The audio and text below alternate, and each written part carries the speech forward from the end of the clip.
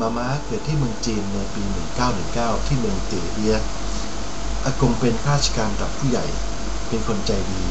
เป็นคนทำงานจริงจังอากงเสียชีวิตขณะปฏิบัติหน้าที่ช่วยเหลือชาวบ้านขณะที่เกิดน้ำท่วมใหญ่ หลังจากที่อากงเสียชีวิตไม่นาน อาม่าก็พาหมาม้ามาที่เมืองไทยกันตามลำพังสองแม่ลูก มาถึงเมืองไทยขึ้นฝั่งที่ท่าน้ำราชวงศ์ในปี 1922 ซึ่งตรงกับสมัยรัชกาลที่ 6 ตอนนั้นหมาม้ายังเล็กมากอายุได้สามขวบเท่านั้น จากนั้นอีกไม่นานอาม่าก็ย้ายไปอยู่กับพี่สาวที่อำเภอสองพี่น้องจังหวัดสุพรรณอยู่ได้ไม่นานนัก ก็ย้ายเข้าไปอยู่ในอำเภอเมืองเช่าบ้านอยู่กันเองสองแม่ลูก ขายของชำที่หน้าร้าน ระหว่างนั้นได้มีโอกาสรู้จักผู้ใหญ่ท่านหนึ่ง ซึ่งมาซื้อของแล้วต้องชะตา ก็ได้มีวาสนาร่วมกันเป็นครูเป็นศิษย์กัน มาตลอดจนวันสุดท้ายแห่งชีวิต ท่านนั้นก็คือคุณหญิงน้อมจิตอัตไกวัลทีนายแม่คณะละครเทพศิลป์ภรยาหลวงอัตไกวัลทีอายการสุพรรณขณะนั้นมาม่าเรียกท่านว่าคุณแม่ตามลูกศิษย์ของท่านที่เรียกหากันเต็มบ้านเต็มเมืองคุณแม่ได้ชวนมาม่าไปเรียนหนังสือที่โรงเรียนสวนยิง ซึ่งเป็นโรงเรียนสตรีประจำจังหวัด ท่านบอกว่า ลูกคนจีนเก่งต้องให้เรียนหนังสือมาม่าก็เลยอ่านออกเขียนได้ ใช้ภาษาไทยได้ดี ทุกครั้งที่มีคนชมมาม่าก็จะรึกถึงพระคุณของคุณแม่อยู่ไม่รู้ลืมในเวลานั้นเอง พี่สาวของอาม่านั้นก็กลับไปที่เมืองจีน เพื่อไปรับพี่สาวและพี่ชายของมาม่าที่อยู่อีกสองคนจากเมืองจีน ให้มาอยู่ด้วยกันที่สุพรรณจะได้พร้อมหน้าพร้อมตากันทั้งสามพี่น้อง ได้แก่พี่สาว น้องชาย และตัวมาม่าเอง จากนั้นอาม่าก็พาลูกทั้งสาม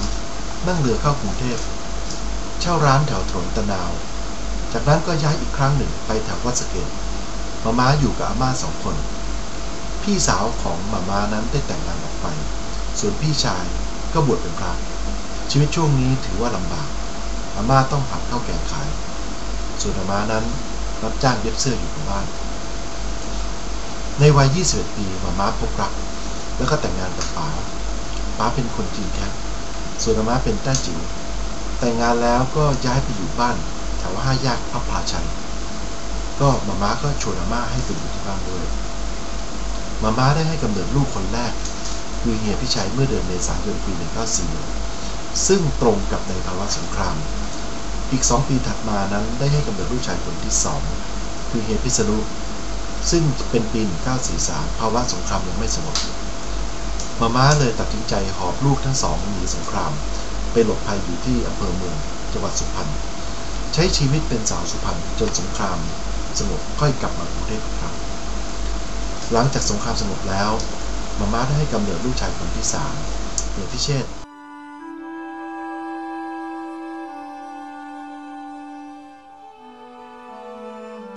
และคนที่สี่เฮียปิง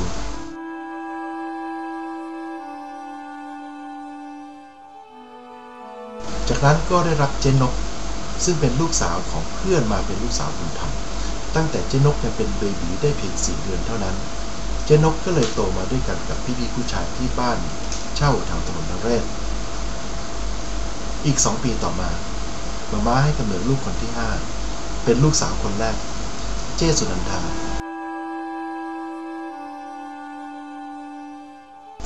และลูกรุ่นเล็กอีกสามคนก็เกิดตามๆกันมา แล้วก็โตที่บ้านถนนเรศทุกคน พิชิตคนที่หก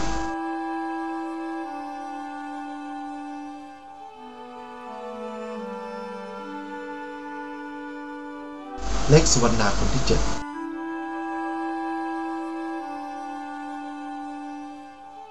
และคนที่แปดพิสิทธิ์ลูกชายคนเล็ก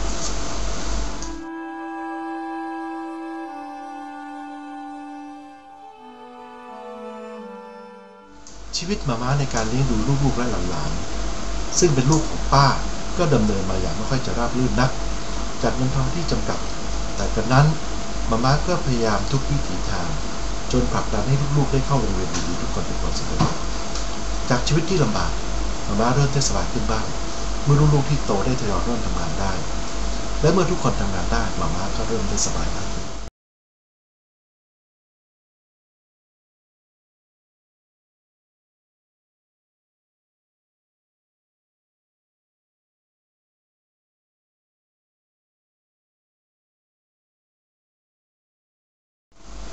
ในปี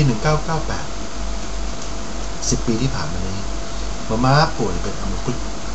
ชาทั้งสองข้าง ข้างขวาจะมีแรงมากกว่าข้างซ้ายอัมพฤกษ์ทำให้มาม่าพูดได้ไม่ค่อยชัด ก็ไม่สามารถยืนหรือเดินได้อีกต่อไป ต้องนั่งรถต้องนั่งรถเข็น แต่กระนั้นด้วยความที่เป็นคนแอคทีฟแม้ว่าจะเดินไม่ได้ แต่มาม่าก็ยังไม่ยอมหยุดกิจกรรมต่างๆ แม้แต่การไปออกกำลังกายที่สวนรถไฟเกือบทุกวัน ลูกชายคนเล็กรับเชื่อพระเจ้าในการปี 2002แต่เวลานั้นหมาม่าก็ไม่ค่อยชอบนะแต่ก็ไม่ได้ต่อต้านอะไรมากหมาม่ามีปัญหาเรื่องการได้ยิน ซึ่งเป็นมานานกว่า 30 ปีแล้ว หูหมาม่านั้นจะตึงมากๆ จะได้ยินเพียงเล็กน้อยจากหูทางด้านซ้ายเท่านั้นทำให้ไม่สามารถได้ยินเรื่องราวของลูก ในการรับเชื่อพระเจ้าได้ชัดเจนนะมาม่าได้เริ่มรู้จักกับการอธิษฐานครั้งแรก เมื่อลูกชวนให้ร่วมกันขอบคุณพระเจ้า แรกๆนั้นมาม่าจะปฏิเสธแต่ไม่นานนักมาม่าก็ร่วมอธิษฐานด้วยความเต็มใจ ด้วยการเปล่งเสียงอาเมนออกมา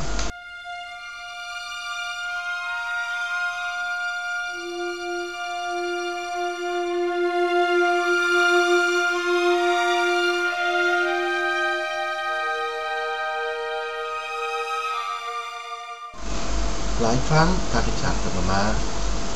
ดูจะไม่ค่อยเหมือนการอธิษฐานเท่าไหร่นัก เพราะต้องตะโกนข้างหูด้วยเสียงที่ดัง อีกประมาณหนึ่งปีให้หลังคณะเยี่ยมเยียนจากโบสถ์ได้มาเยี่ยมเยียนมาม่าได้ต้อนรับด้วยความกตือรือร้นได้เริ่มเรียนรู้เรื่องของพระเจ้าทีละเล็กทีละน้อย ได้ร่วมร้องเพลงอธิษฐานหรือพระคัมภีร์ และอีกสองสามปีจากนั้นบัสก็ได้เริ่มรับเชื่อในพระเจ้า ได้มีโอกาสไปร่วมเทศกาลที่โบสถ์ด้วยตนเองเป็นครั้งคราว เมื่อต้นปีมานี้เองมาม่าเข้าออกโรงพยาบาลหลายต่อหลายครั้ง เริ่มตั้งแต่ 2 มกราคม มาม่าต้องฉลองปีใหม่ในห้องฉุกเฉิน จากนั้นก็เข้าออกโรงพยาบาลหลายรอบจนครั้งสุดท้ายเมื่อวันที่8กุมภาพันธ์ที่โรงพยาบาลพระรามเก้าหลังตรุษจีนหนึ่งวัน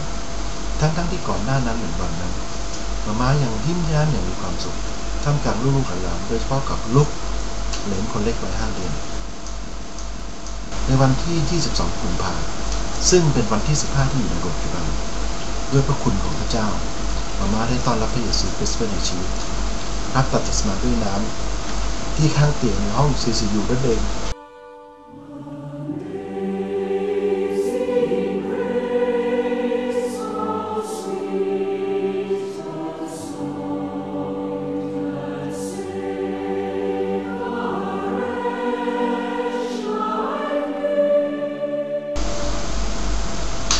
มาม่ารักษาตัวอยู่โรงพยาบาลต่อไป 27 วัน จนถึงวาระสุดท้าย มาม่าเป็นลูกกตัญญูที่ดูแลปฏิบัติแม่ไวัยชราด้วยความรัก เป็นภรรยาที่อดทนต่อสามีถึงที่สุด เป็นป้าที่ให้ความเมตตาอารีต่อหลานๆที่กับพ่อแม่ เป็นอาม่าที่มีแต่ให้ ของหลานสิบหกคนและเหรียญห้าคน เป็นเพื่อนที่เอื้ออารีต่อมิตรสหาย และเป็นแม่ที่เลี้ยงดูลูกไปอย่างยากลำบากด้วยความอดทน ชีวิตของม้าเป็นแบบอย่างให้กับลูกเป็นบทเรียนที่สอนด้วยการกระทำ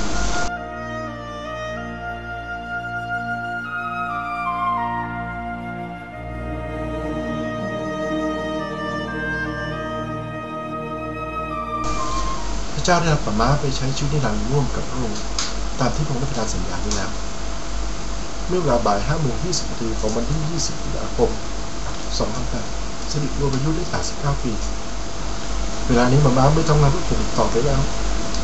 แต่กำลังเดินเรื่องอย่งมีความสุขกับองค์พระเยซูคริสต์ที่รักมาม้าและได้ช่วยไถ่มาม้าเวลาตลอดไปแล้วเราจะได้เจอกันอีก